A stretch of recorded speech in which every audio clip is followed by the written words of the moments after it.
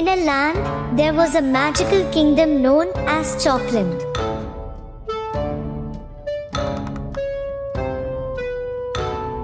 The king of that kingdom was a cat.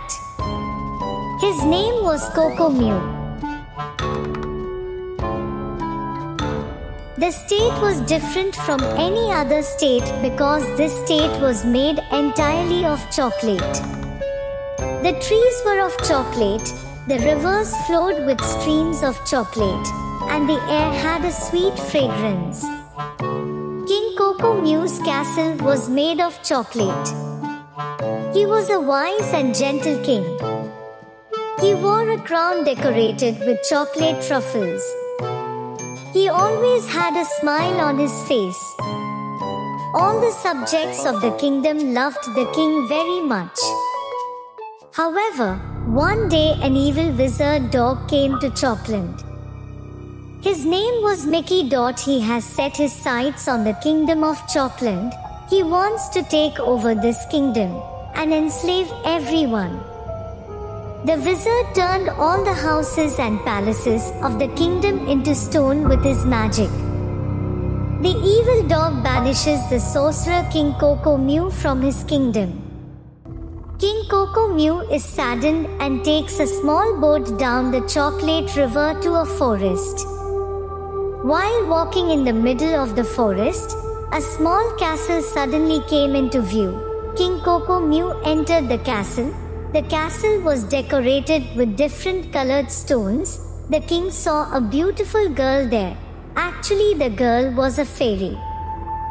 The king then told the fairy all the events of his kingdom, open up, and asks him for help.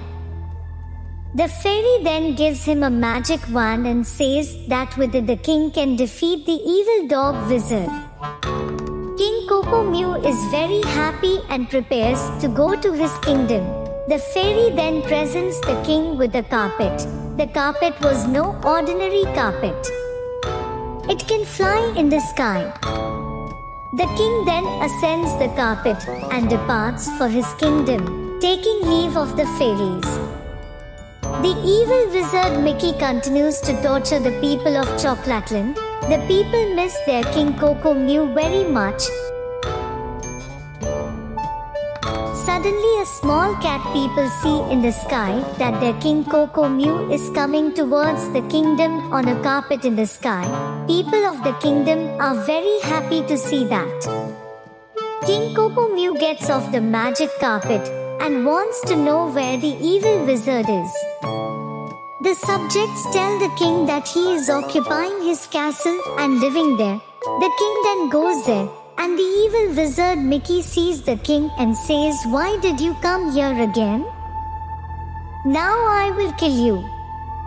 King Coco Mew laughs and says, I have come to kill you. Then there was a great fight between the king and the evil wizard. At one point, King Coco Mew defeats the evil wizard and imprisoned him. Then there was a flood of joy in the kingdom. All the subjects of the kingdom rejoiced before the king. This is how Chalkland became free.